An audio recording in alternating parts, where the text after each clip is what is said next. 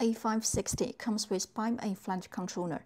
It can be controlled by different kinds of transmitters. Today I'm going to introduce how to set T16D or T12D to control A560. You can also check this video for how to use T16D or T12D together with Byme-A flight controller. A560 RTF version comes with R8XM mini receiver.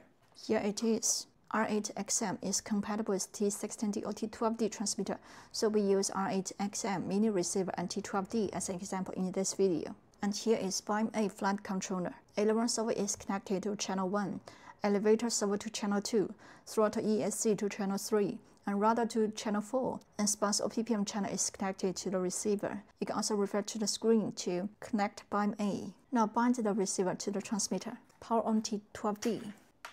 Enter receiver settings, RF settings, protocol. R8XM supports FHSS V1 protocol, so I can only select V1 protocol here. You can refer to the chart on the screen to set the correct protocol for your receiver, and then connect the battery to A560. Make sure the polarity is not reversed.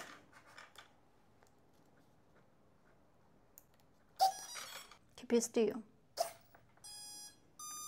The self-test is done.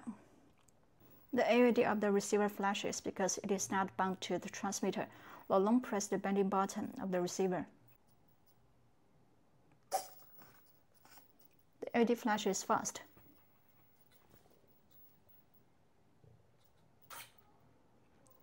And the LED goes solid.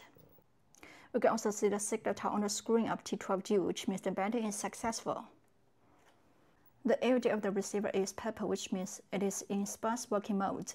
Byme-A supports standard SBUS or PPM signals, so they can work together. Power off A560.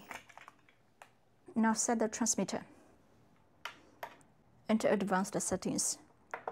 Type, and we need to select the first one, fixed wing. And enter general settings. Reverse set the direction of the channel 3 throttle to reverse and other channels to normal. And enter general settings of signal channel. The flight modes of Byme-A flight controller are switched by channel 5 and channel 7. So we need to assign a 3 position switch for channel 5 and a 2 position switch for channel 7. And I assign switch A, a 3 position switch for channel 5, and switch D a two position switch for channel 7. And make sure switch A and switch D are not used by other channels. And I also need to enter transmitter settings. Switch settings. Make sure switch A works as a three position switch and switch D works as a two position switch. And after the setting, power on A560. Connect battery.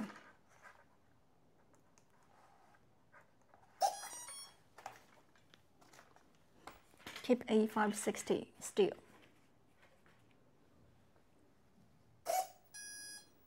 The self-check is done. Attitude calibration, and we need to place A560 on the ground to calibrate the attitude. It is recommended to lift the head of A560 with about a 20 degree angle for beginners to calibrate attitude. So I install the landing gear and place it on the ground because it is about a 20 degree angle. Then push the two joysticks like this to calibrate the attitude. The green LED of Byme-A flashes once. In the calibration is complete. It is also normal for the control surface to swing or the motor to rotate once at this time. And then I'll introduce the flight modes on Byme-A. And Byme-A has six flight modes, and we have already assigned switch A and switch D to switch the flight modes. And you can refer to the picture on the screen for the flight modes push switch D up. It is stabilized mode when switch A up, and gyro mode when switch A in the center, and manual mode when switch A down. Uh, in manual mode, there is no gyro function, so the control surface won't move when you turn the aircraft, and push switch D down. It is multi-rotor vertical mode when switch A up, and acrobat mode when switch A in the center, and fixed wing vertical mode when switch A down. And please note the value range of channel 5 and channel 7 corresponding to the flight mode as shown in the picture. When using transmitters from other brands, please refer to it to switch the flight modes. Hold A560 and turn it to check the movement of the control surface of aileron, elevator, and rudder.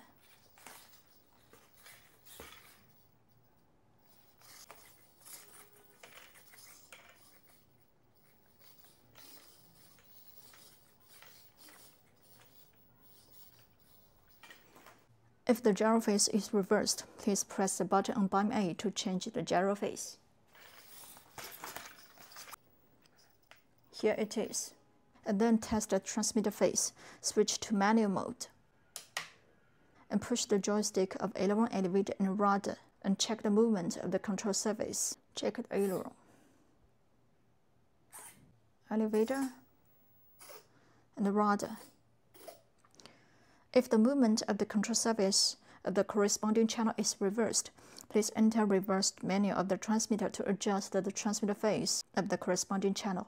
After you have done all the above steps, you can install the propeller and fly A560 outside.